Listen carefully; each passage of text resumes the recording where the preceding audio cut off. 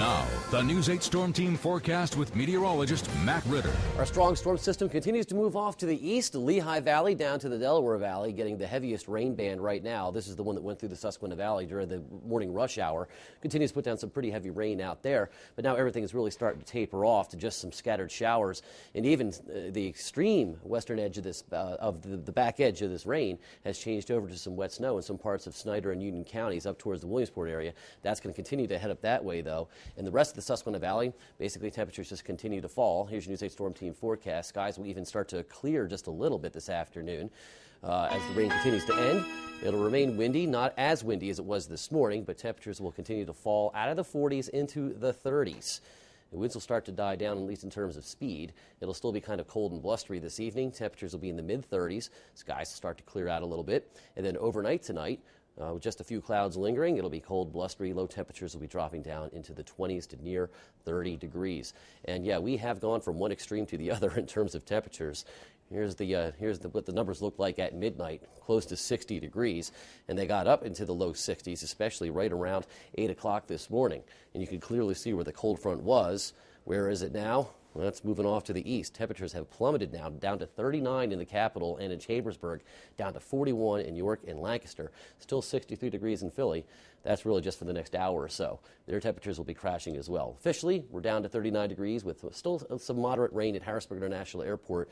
Wind chill now down to 31, where there was no wind chill earlier in the day.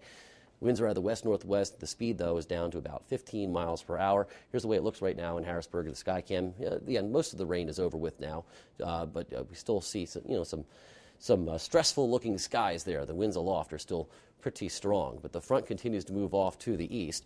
It's uh, located basically in between Harrisburg and Philly now, uh, but that south southerly flow is beginning to be replaced by that really strong, cold northwesterly flow, and the cold air has caught up with some of the moisture uh, in the northwest Susquehanna Valley up towards the Williamsport area where it has changed over to some wet snow.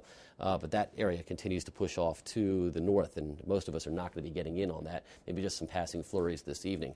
Predictors showing everything moving off to the east, clearing skies and uh, the, the winds start to die down as we head into the nighttime hours and, and t- towards tomorrow morning. A weak system will go by with some high level clouds during the day, uh, Thursday and Friday, and another system will be moving towards us for the weekend.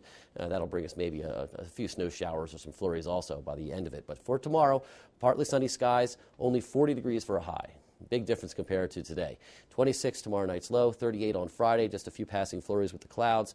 And then the, the, quick system moves through again on Saturday and Sunday with some more clouds, maybe some flurries. And basically, you don't see a whole lot of above normal temperatures in the seven day forecast there, Susan. So this cold weather is going to stick around for a while. So basically, in the course of six hours today, we've gone from balmy to blustery unbelievable. Temperatures dropped almost 20 degrees in one hour. Wow, quite a bit of rain. Quite too. a front, yeah. We still have some of that minor flooding going on in the small streams and creeks uh, and uh, areas of poor drainage. The larger rivers are going to get close to flood stage by Friday, but they're not expected to go above flood right, stage. There's lots of debris all everywhere lots from those of wind, winds. Yeah. yeah. All right, Matt. Thanks.